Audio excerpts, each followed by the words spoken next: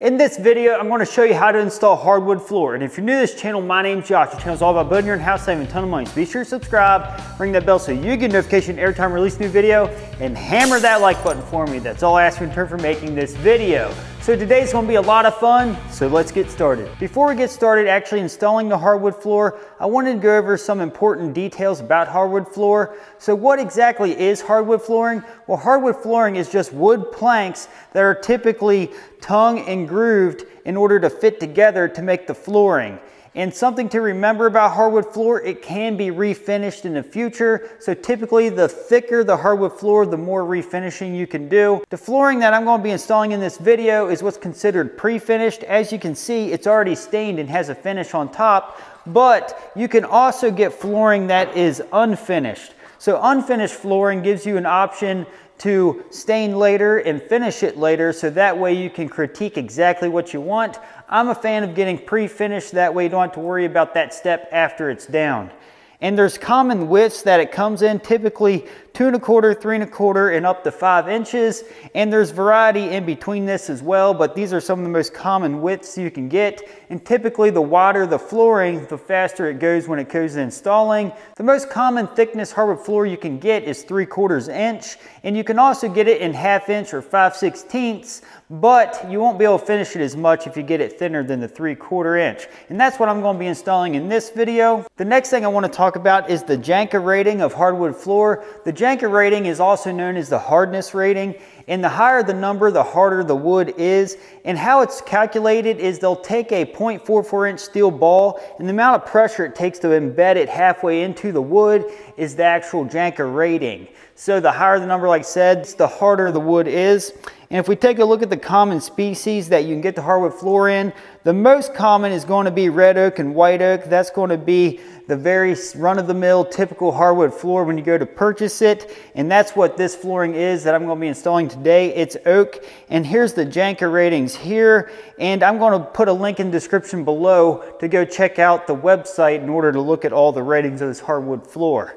So next, we need to talk about how to calculate the hardwood floor. When it comes to calculating the hardwood floor to do a room or a whole house, you need to have a waste factor of at least 10%. 10 to 15 is the right range. So I'm gonna show you quickly how to do this. We first need to calculate the area of the whole room. So to calculate the area, we just gotta take the width times the length, and that's gonna give us the square feet of the whole room. So we got 14 times the 16 length, and that gives us 224 square feet is the area of the room. And then if we take the 224 and times it by 0.1, which is 10%, that gives us 22.4. So we just add the 224 plus the 22.4, and that gives us a total of 246.4 square feet to do the room. And then we're just gonna round this up to the next tenth, and that gives us 250 square feet of flooring we need to order to do this whole room. I'm sitting here on boxes of hardwood floor that's been in this room for over 14 days. And the reason why it's been sitting here this long is because I've been way too busy to install it. Just kidding. I had to let the hardwood floor acclimate to the room first before I install it.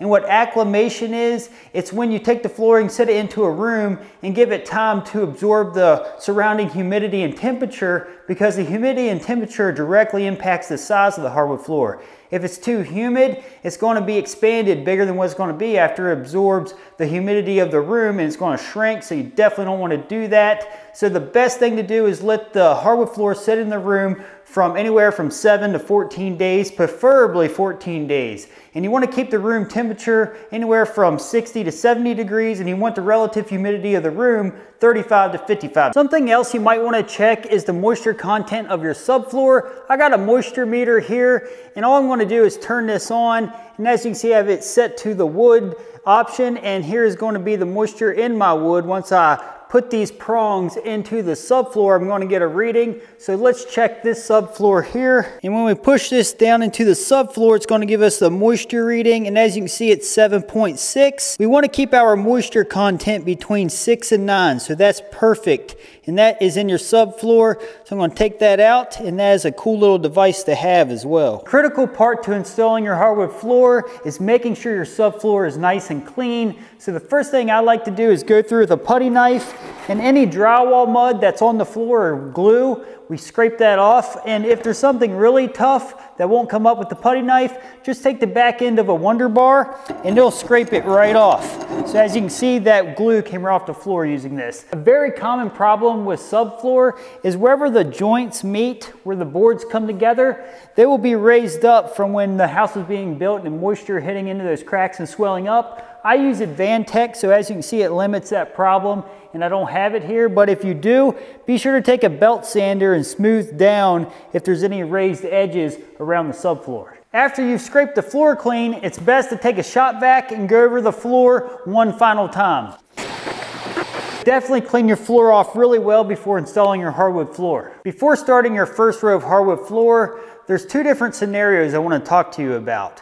One is if you're just doing one room or if you're doing different rooms and they're all not coming together versus if you're doing a whole house and it's all to be hardwood floor. So in this video, I'm to be doing a whole house, but I'm going to explain to you what you're going to want to do different when starting your first row from a whole house to just a room. So if you take a look down this hallway, as you can see, it's several feet from here to the very back end of that room in which the whole row of hardwood floor is going to be running. So because of that, we're going to start out by running a piece of hardwood floor in one whole row straight down from that back room clear to where the camera is setting. So if we take a look across here, we got at least 50 feet of hardwood floor that's going to be running straight. So you don't want to start out in one back side of the house and then start out in the other back side of the house and try to get them to come together because you run the risk of them not coming together right and then you're going to have a wavy looking row. So I'm to show you how to address that issue and if you're going to be doing just a room, you're going to want to start in the back side of the room at the farthest wall and work out towards the opening, running perpendicular with your floor joists because you don't want to run parallel with your floor joists because it's a weak way of installing your floor. You want to run perpendicular so it adds strength to your floor. So let's get started. Before I place the hardwood floor on top of the subfloor, I must first install a vapor barrier. And you can also use felt paper that's saturated with asphalt that's commonly used on roofing but I got the actual underlayment that's meant for hardwood floor. So the first thing I'm gonna do is roll this out and then secure it to the floor using staples. I'm gonna be using this slap stapler to install the underlayment. That's because it's a little quicker and I'm only using quarter inch staples because it doesn't take much to secure this to the subfloor.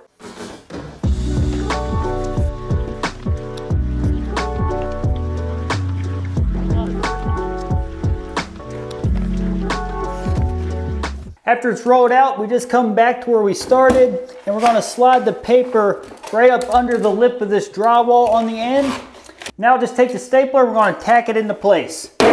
And you don't need a bunch of staples, just a handful to hold it into place until you get your hardwood flooring over it. And whenever you get to the door openings, all we gotta do is slide it over the opening just a little bit to where it needs to be laying flat. And then we just cut it out like so. It doesn't have to be perfect.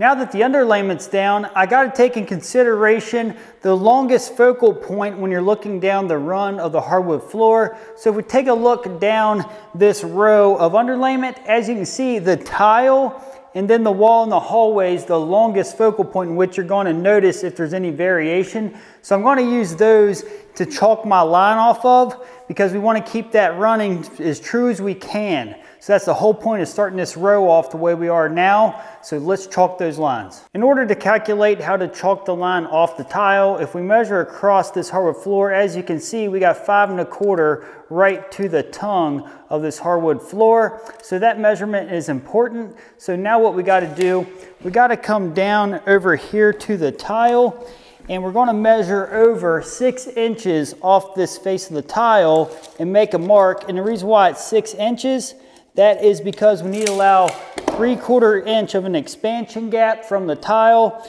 and then right to the tongue of the hardwood floor, that's gonna be right to the edge. So that's gonna be the measurement I want to start off with. And now we're gonna measure up to this mark off the other side of the room and down on the hallway. I'm now gonna measure up off the edge of the tile six inches on this other end. And now the measurement we gotta check here is the distance from this wall to that mark. So we take that measurement over, we got three and seven eighths. Now we need to mark three and seven eighths on the end of this hallway wall. I'm now gonna measure three and seven eighths off this edge of the wall. I'm now gonna drive a nail to this first mark that we made earlier. I'm then just going to take a chalk line and hook to that nail. I'm gonna run this chalk line past this mark that we made at the end of the hallway. I'm gonna hand this off to my helper He's gonna run it down to the wall and I'm gonna tell him while I'm lined up with this mark. So then we'll know we have a straight line from that first mark we made to this mark. A little bit more, okay, right there. So I'm gonna hold it right there onto that line and snap the chalk line on this side and then this side. All right, so now we got a perfectly straight line starting from the end of that bedroom clear out to the end of that tile. I'm now gonna take a hammer and nail and place a nail right on that mark that we just held the chalk line on. Now I'm gonna hook my chalk line and run it the other way and extend it past the tile. Come my way just a little bit, right there. And now I'm gonna hold it down that line, snap this side, and then this side's already snapped, I'm gonna hit it again anyways, okay? So now this line that we got is going straight down the hall to that farthest room now it's running clear out past the dining room. Now what I'm gonna do just to double check that we're running square with the dining room is we're gonna check from corner to corner up to that chalk line just to make sure. We got 14 foot 1 8 inch. Now let's check down here. And this is the first mark that we made initially. And we got 14 and 1 8. All right, so we know that string line is running as square as we can off majority of the house, which is very important when doing a whole house. And don't forget to cut out your underlayment wherever your floor vents are. You don't want to install hardwood floor right over them. I'm now going to put down the next row of underlayment. This calls for a 4 inch overlap. Check with the manufacturer of your underlayment to see what your brand calls for. Something I noticed on camera, this stuff looks really wrinkled. In person, it doesn't look nearly that bad. I think it's a light shining across the floor, so just keep that in mind while watching this video. When starting the hardwood floor, I recommend wearing knee pads to save the knees. Now it's time to install the first piece of hardwood flooring, and in order to do so, we need to take the tongue of the hardwood floor and line it up with our chalk line that we chalked, and then we're gonna slide it right up to where it meets the drywall. And as you can see, the drywall is down a little lower than we want it, so we got to do what's called undercutting the drywall. That's where I'm going to take my utility knife and just cut enough of the drywall in order to give the hardwood floor an opportunity to expand and contract underneath the drywall if possible. So I'm first just going to take my utility knife and just cut out some of this drywall can freely slide under that drywall if it has to when it's expanding and contracting.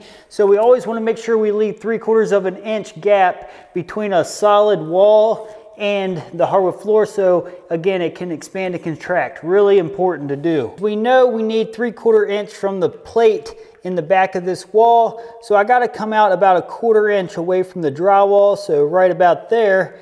And now I'm going to slide the board over to the tile and I know I need a three quarter inch gap there as well. So I'm gonna slide this over to give me a three quarter inch gap. So right there.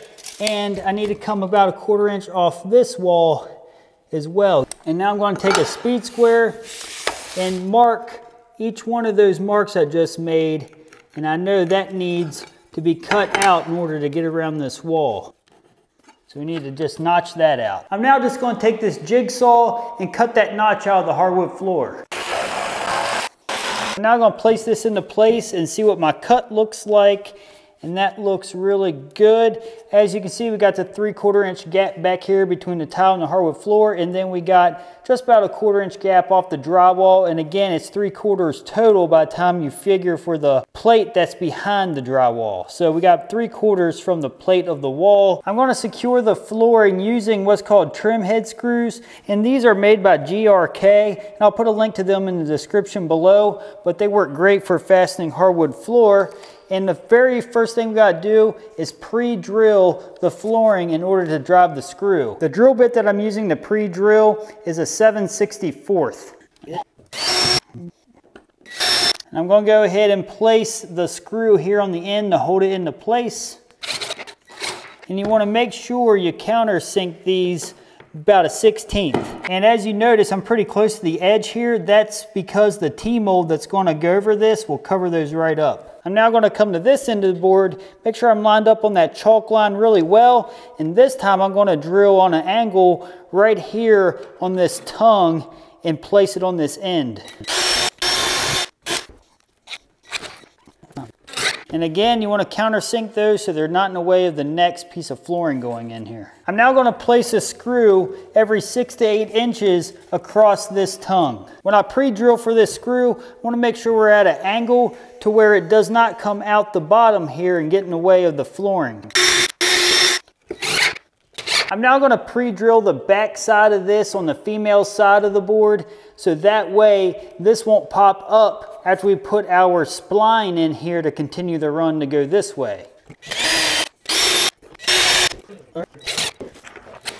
So now that flooring is down, it's not going anywhere. So we're gonna continue the run and we're gonna slide into this tongue. You wanna make sure you get some really straight ones for this first row that we're doing. So that way you're not trying to fight it and work all the bows out of it as you go. So this one's really straight. So we're gonna line it right up on that line and be sure to get this dust out from pre-drilling before you place your board in here. So that way it doesn't resist it from going all back all the way. So now we're just going to slide the flooring together like so. And as you can see, you want to make sure that it lines up exactly with that chalk line like we did the first piece and it looks really good right there. And you obviously need to make sure that you're lined up perfectly straight with each other. So as you can see right there, we are dead center from center to center here. So that's very, very important. You wanna keep your screw about an inch and a half to two inches away from this very end, so that way you don't split the tongue. So now, same idea, we're just going to put screws every six to eight inches across this tongue and across the back and on the end. I'm gonna put these screws in first before I keep pre-drilling this so that way it doesn't shift away from our tight joint.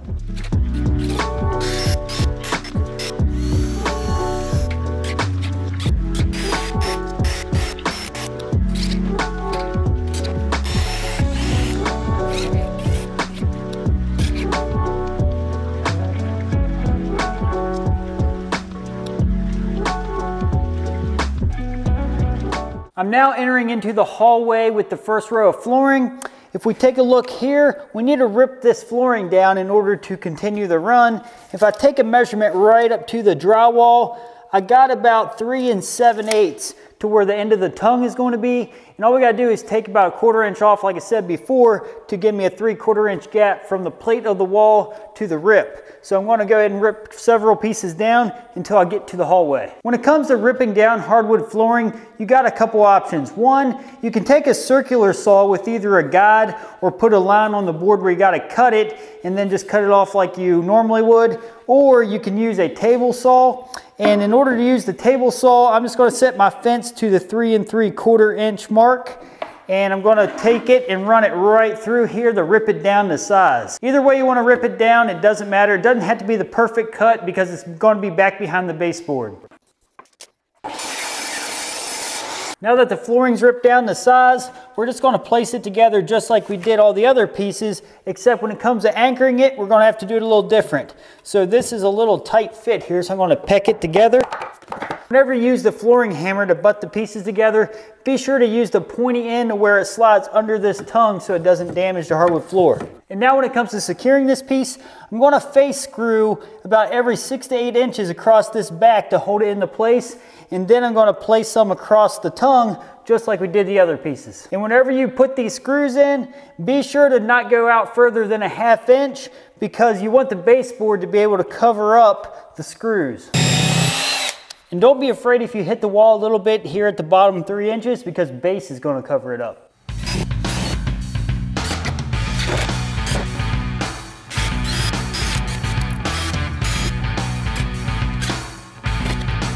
First row is now complete and it gives us a perfectly straight row to go off of that's consistent with the whole house. The flooring nailer that I'm going to be using to install this hardwood floor is made by Bostitch. This is a two-in-one flooring nailer so it can accept staples or cleats. I'm going to be using the two-inch cleats that's made by Bostitch as well. And I'll put a link in the description to the nailer and the cleats so you can pick them up if you need to. And this is going to accept 100 pounds of pressure. We're just going to hook it into it like this.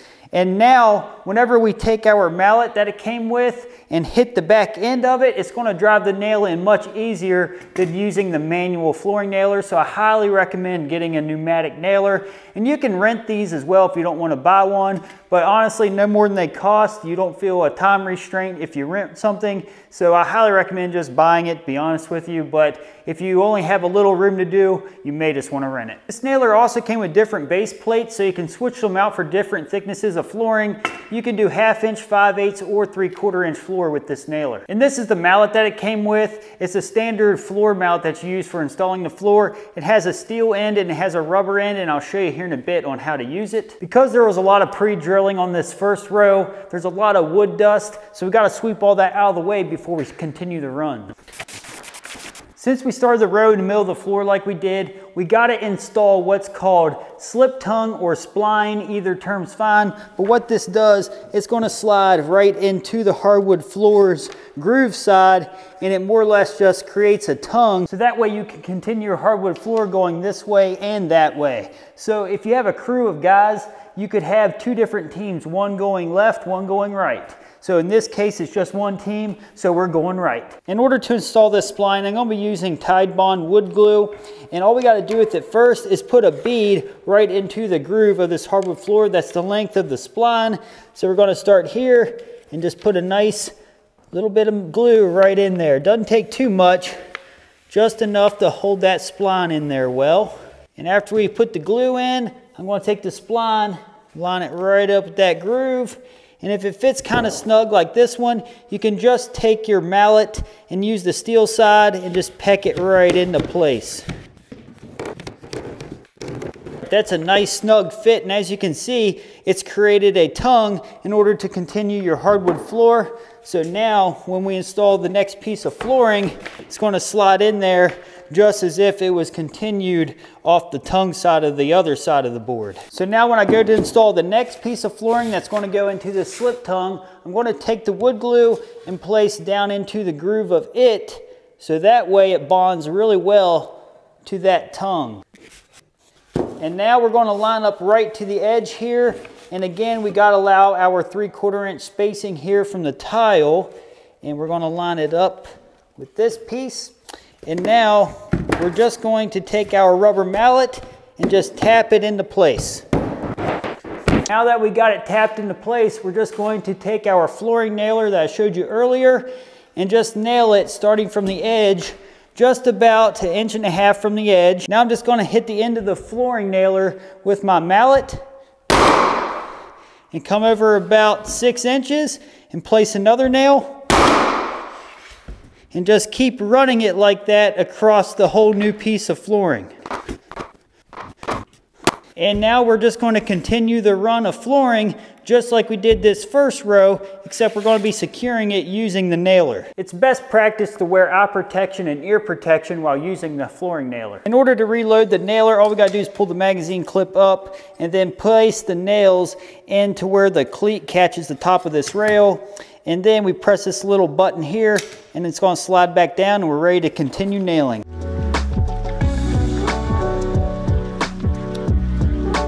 I'm now going to show you how to finish up this run and start the next row. So all I got to do here is just measure the distance between the hardwood floor and the tile. And I got 19 and 7 eighths, so I got to subtract 3 quarters of an inch in order to allow for the expansion gap. So I'm going to cut it 19 and 1 eighth in order to finish up this row. When installing hardwood floor, I like to use a miter saw to make all my straight cuts. That's because it's way quicker and more accurate than trying to use a circular saw for the whole job.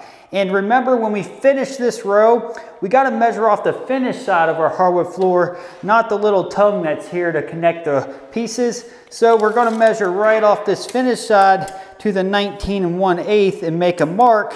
And now we're just gonna cut this side of the mark.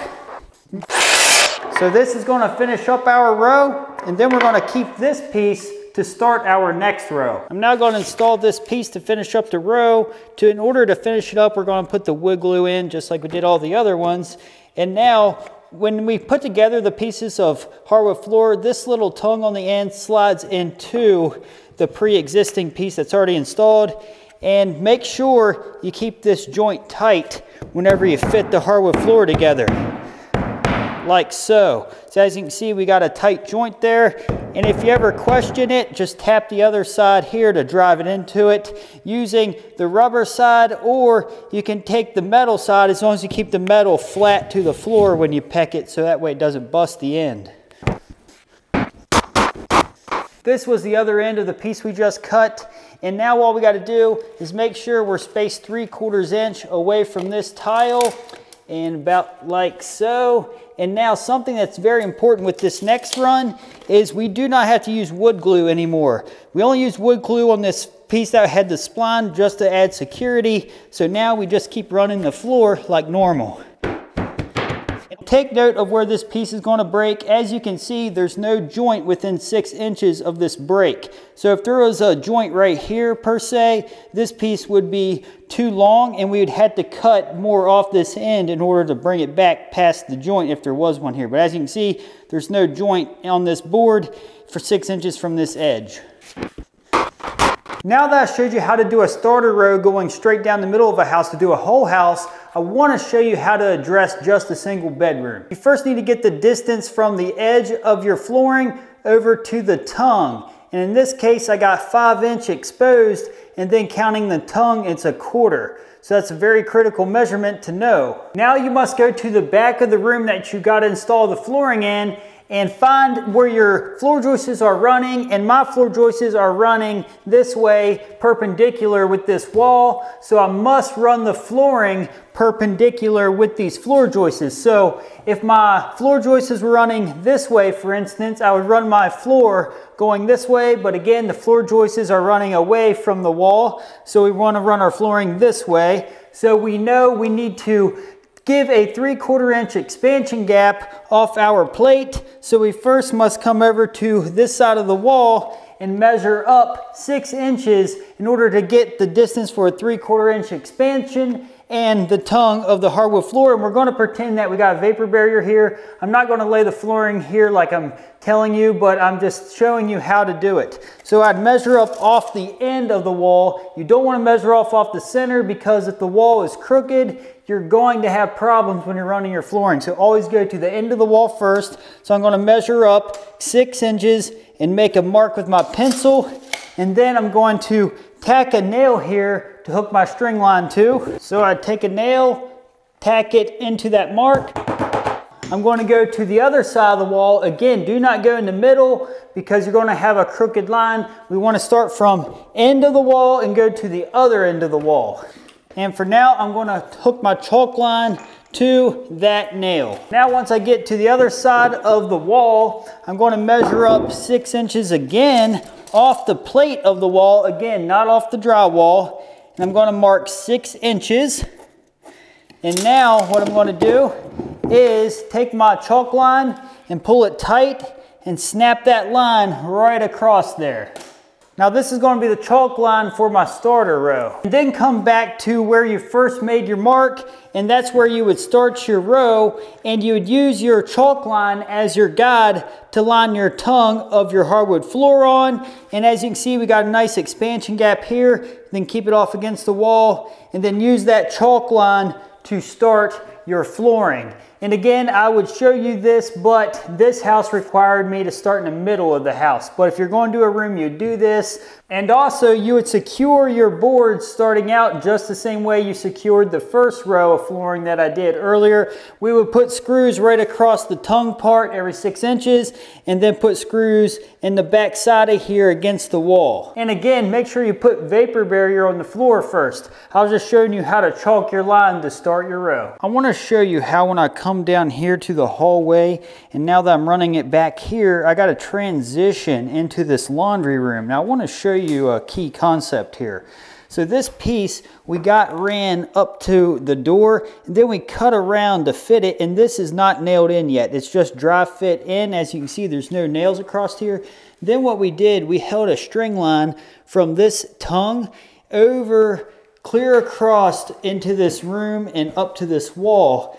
And then what that's going to give us is a straight line from the beginning of this row to the wall. If we take a look at the tongue of this temporary row, if we measure 25 inches back, that's five tongues back. And that's going to be before we got to rip it down for our starter strip. So now we're going to do our starter row right off that chalk line. And always keep in mind, if you don't want to calculate your starter row, you can always just do the spline method like we did on the first row of flooring for this house. So this is just a thing I'm doing because it's not too many runs, so you really don't run the risk of being off too much. Now I'm just gonna remove this row and get started on this starter row. This is the starter row installed and I just secured it using the screws just like we did the starter row at the beginning of the video. The two sections of flooring lined up really well using that method. So you can use that method or the spline method and it can still give you great results using this method but if I had a big run coming up together to meet each other, it's definitely better to use the spline method. As you can see, the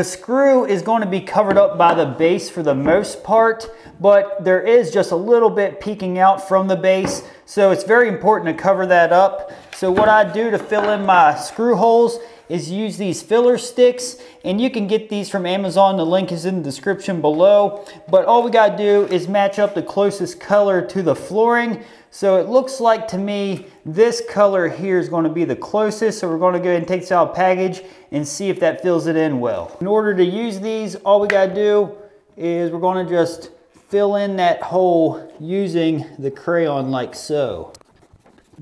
So now we put the baseboard back up you cannot really see that screw hole at all. So it's really important to test out which screw holes are going to need a little bit of touching up with your crayon before you get too far along here. I call these a crayon, but again, they're technically called filler sticks. And then as you can see, even this one, we need to hit it a little bit as well.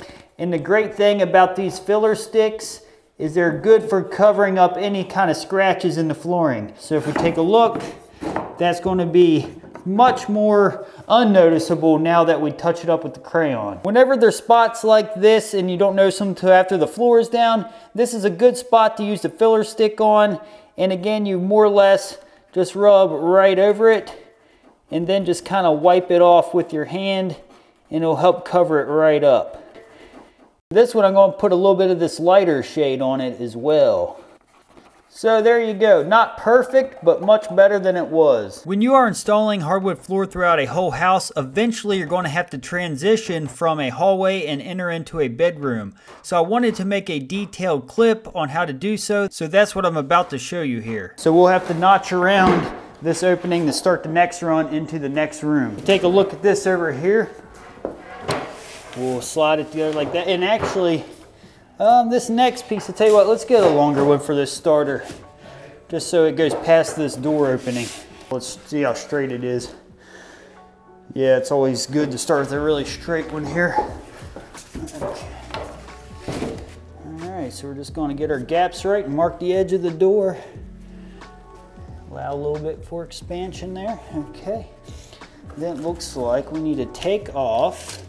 All we gotta do is measure this gap here and that's how much we're gonna have to rip off, plus a little bit more for expansion. So we'll add about a quarter inch to this gap. We'll take off a half inch. We'll take off about three quarters inch on each side of here when we rip it down. Let's go rip this baby down. If I wanna take three quarters inch off, I'm gonna move my fence over to three quarter. I notice I gotta go a little heavy to get a true three quarter here. I always like to double check the blade make sure we're sitting where the fence actually shows. So if you take a look around here, it is showing three quarters inch away from the fence to the saw blade. Really important. Now this side, since it's such a little cut, I'll just take that off with the circular saw. Take my speed square, come down three quarters of an inch, We'll just use it as a scribe line here. Now we'll see how that looks when I cut it out. Probably just use the jigsaw for this. Boom. Let's go test it out. Let's see what we got here. Slide it right up to where it's supposed to be. And that looks really good. Good cut right there. We got our expansion joint on the side. Now, I like to wear my safety glasses if possible. Grab my little mallet and my nail gun. Take the rubber side of the mallet and hit it into place and that looks good. Then nail it just like we do all the other pieces. Then, right along the wall, we'll have to drill it and screw it down just like we did the other pieces. In order to continue into this room, we got to measure up off this wall and then chalk a line from the outside of this tongue cleared down across the room. So we got four and about three eighths. And let's check over here. And we got four. Get the camera down here. If you can see that three eighths, we're about four and three eighths here as well. And that's the outside of that tongue. Now we're gonna come down here this side of the room and measure off the drywall, four and three eighths. We're gonna put a mark. Then we'll get our chalk line and chalk straight down to that first piece of hardwood flooring. Place our nail on that mark. That's gonna be our helper. Right, then we're gonna come straight down through here. Looks like snap it against the uh, tongue here. So that's our reference line to continue the run. After we got the rows laid out ahead of time, I'm going to show you how to quickly install it using the nailer. So we just take the rubber side of the hammer, we're going to just pull it down to where we want it, gap it appropriately for expansion, and then we just tap it right into place first with the rubber side, and then we just nail it every six inches. But I just want to show you the flow of this as I do these few rows. And don't forget to wear your ear protection.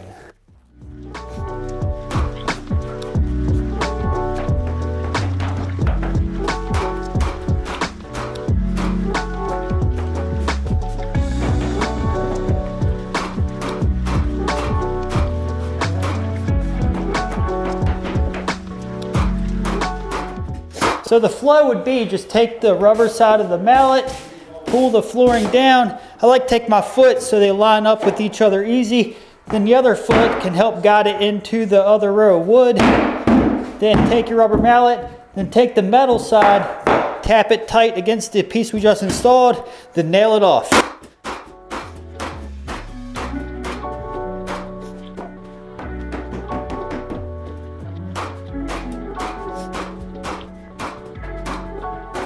I would like to show you that this closet in the background will be continued using the slip tongue method like I showed you earlier.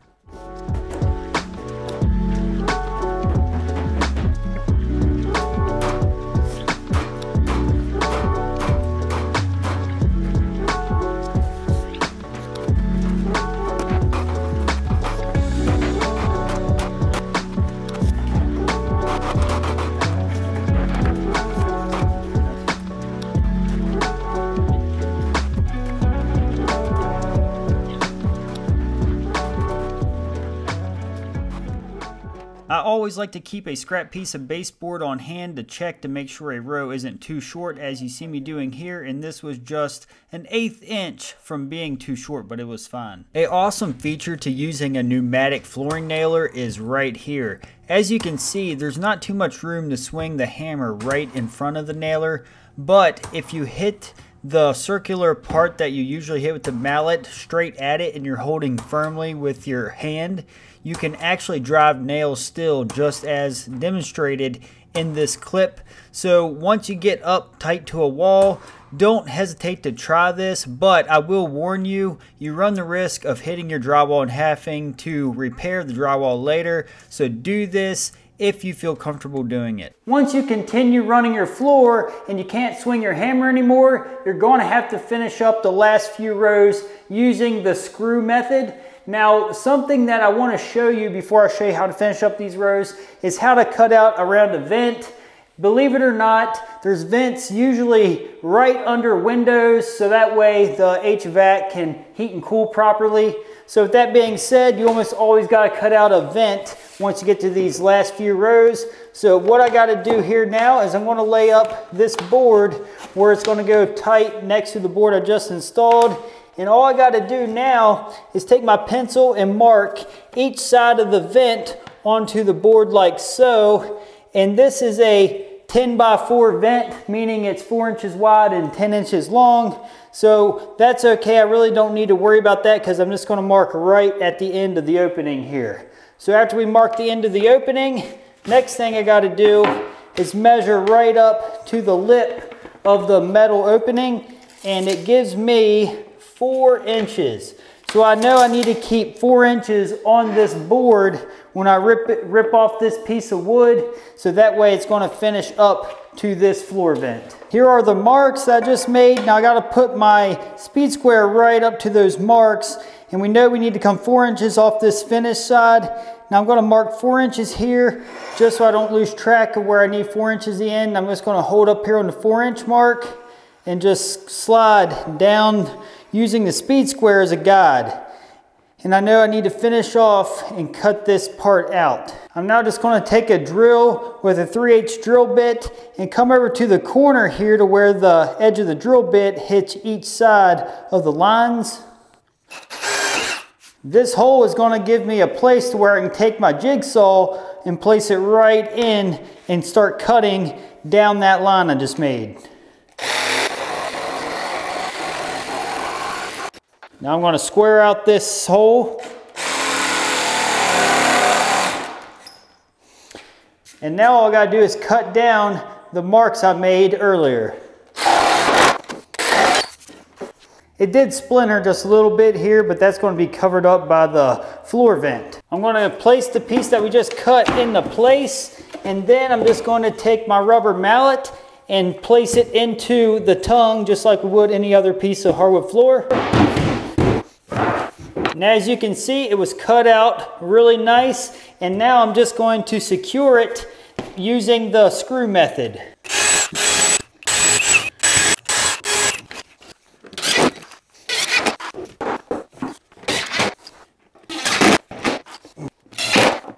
Now when you get your flooring up to the vent where you got to cut the next piece, all we got to do is lay it where it's going to be installed and then mark the edges and again, if you want to double check to make sure you're the correct size of the floor vent, you can always measure. And as you can see, we're right at 10 inches.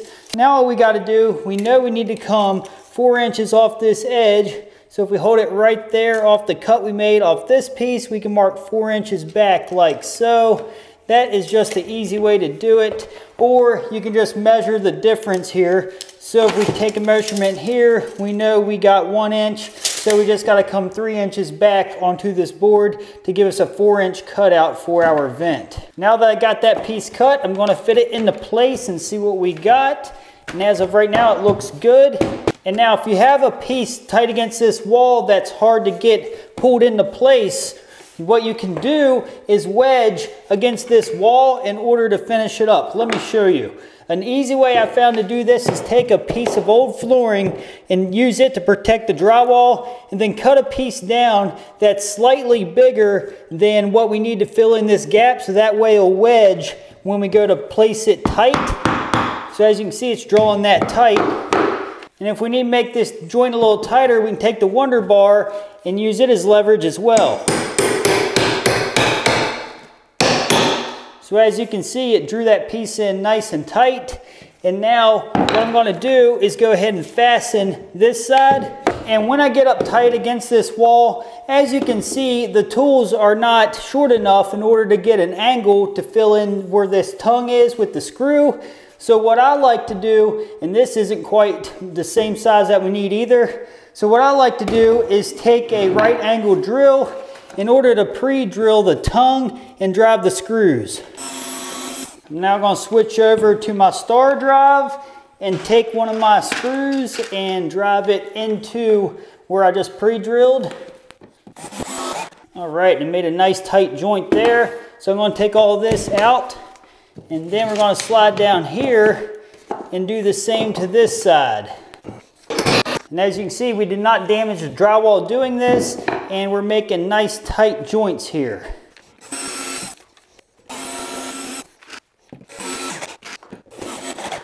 And that's how you finish up around a vent. Now I'm going to finish up the last row here. I'm here at the last row that's going to finish up this room and we just got to take a measurement that's going to allow for the board to slide into this tongue and allow for expansion. So if we take a measurement here, we got three and three quarter from the wall to the finished edge. So we just got to subtract a quarter inch from that in order to allow for expansion. So we got to rip it down three and a half inches. I just ripped this piece down to size and we're just going to slide it right in where it belongs. And just so you know, on this last row, we can use our Wonder Bar and pry against the wall here in order to close up this gap. And sometimes it helps to take your mallet and kind of peck on it as you're prying so it slides into that groove better. So now I'm going to go ahead and place a screw in this back corner to hold it into place. And now coming out here to squeeze it in tighter. And now we just secure it, putting screws right across this back, similar to how we did our starter row against the wall. Now we just do that same method till we finish the whole row.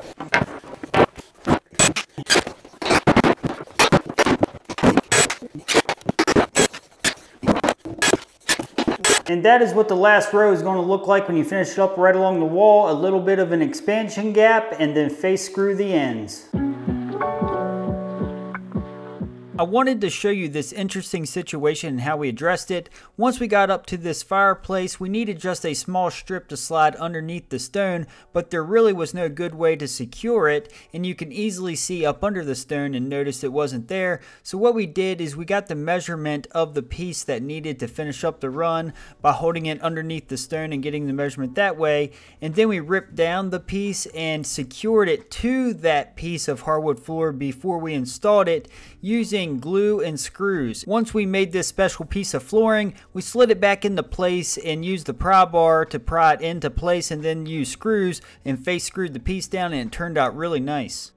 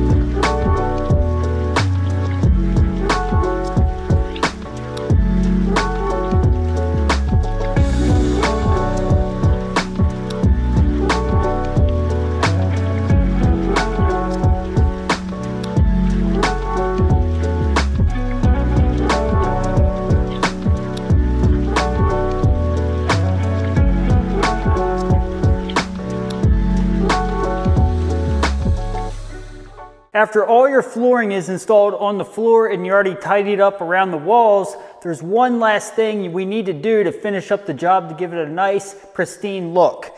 Everywhere we place gaps between tile and the hardwood floor, or if you place gaps between hardwood floor and some other type of flooring, we need to put what's called T-mold or transition strips.